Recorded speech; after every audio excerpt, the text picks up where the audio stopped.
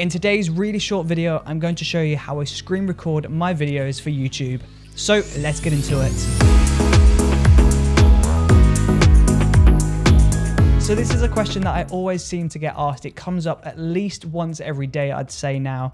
It's always, what program are you using to screen record? How can I screen record? The quality looks amazing. How can I do this?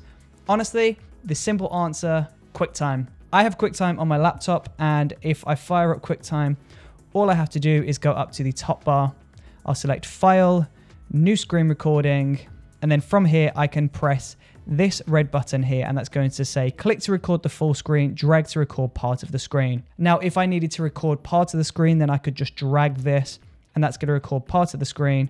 Or if I want the full display then I can just do the full display as well. And then as soon as I press that start recording button, I just do a sync clap in front of my face to match the screen recording up with this footage here, me talking to the camera.